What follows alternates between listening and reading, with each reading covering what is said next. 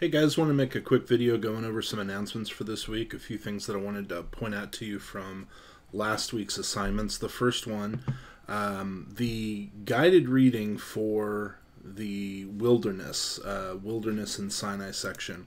There was a question on there that I wanted to just bring some clarity to. Um, Hamilton, the question here, Hamilton claims that Christians often treat the law of Moses like fish they eat the meat and throw away the bones. What does he mean by this? Uh, I want to read what Hamilton says here and make sure you understand what he's saying and what he's not saying. He says many Christians approach chapters 21 through 23, that's the book of the covenant after the Ten Commandments. Most Christians approach those chapters in the same way as they eat fish. The bones are to be thrown away and only the meat digested. To press the analogy, the Ten Commandments of chapter 20 are the meat, the eternal Word of God, is how Christians would evaluate the Ten Commandments. The following three chapters are bones the unedifying, the unpalatable, the anachronistic, and hence the disposable. He is not agreeing with this assessment of chapters 21 through 23.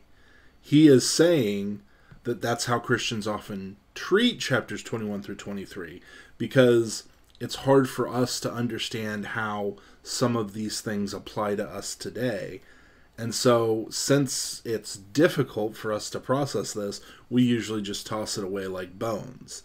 He's not saying that's what we should do. He's saying that too often Christians are in the habit of disregarding these chapters, even though they also are the eternal Word of God. So don't think that Hamilton thinks it's a good idea for us to just disregard these chapters or that they're not the Word of God. He's saying that that is unfortunately how Christians often treat them, while at the same time treating the Ten Commandments, which are part of this whole section, as you know valid for today and and useful and good and the word of god they disregard the other part that's really part of the same section so I just wanted to clarify what he's saying there. Don't read him as being dismissive of chapters 21 through 23. Another thing that I ran into last week in my grading, I'm almost done. I'm still working through the reflection essays, but everything else has been graded.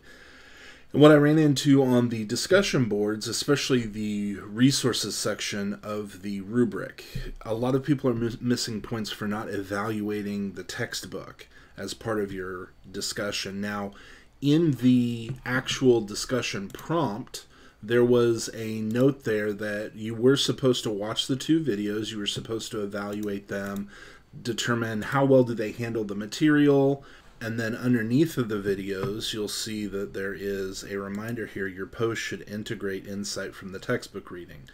Every post that you do, every discussion post, your initial post, should in some way incorporate your understanding of your reading, uh, primarily to evaluate what Hamilton is saying. Do you agree? Do you disagree? Why do you agree or disagree?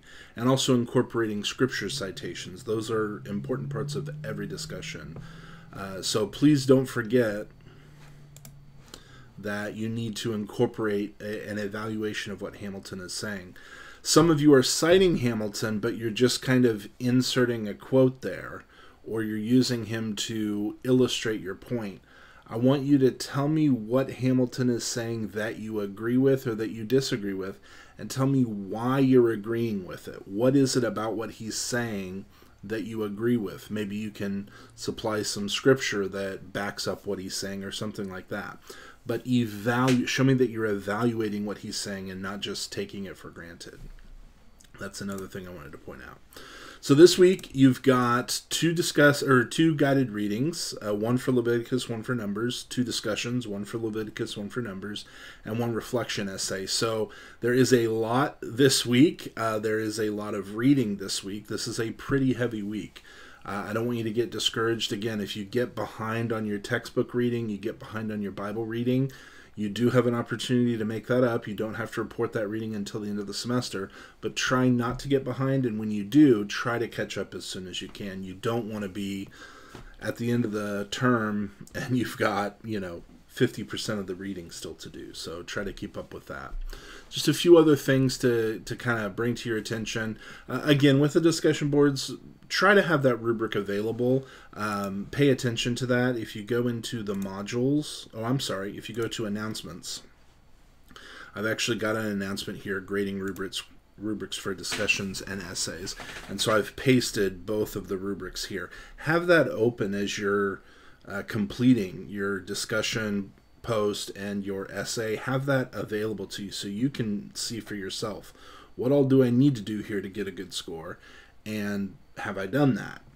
Along the same lines, I'm also posting a video in this announcement to a video I made for a previous class for Old Testament Survey 1, going through the reflection essays and kind of pointing out how those should be structured and how to get a good grade on those uh, in addition to the rubric. So hopefully that's helpful to you.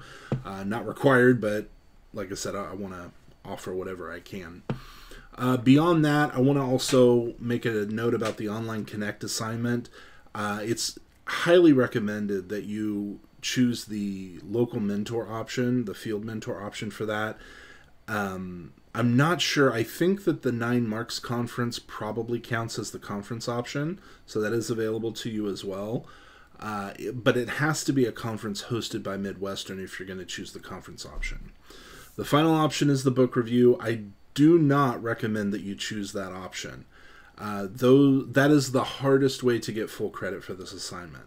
The field mentor option is the easiest way. The book report is the or the book review is the hardest way to get full credit. So um, be sure that if you choose the book review, that that's really the only option that you have, and make sure that you choose a book that is on the list. I, I will not give credit for reviews that are not approved books.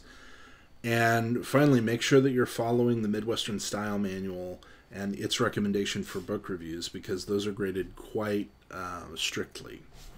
If you have any other questions or anything else comes up, don't hesitate to reach out. But those are the things that I wanted to cover this week. I hope you're doing well.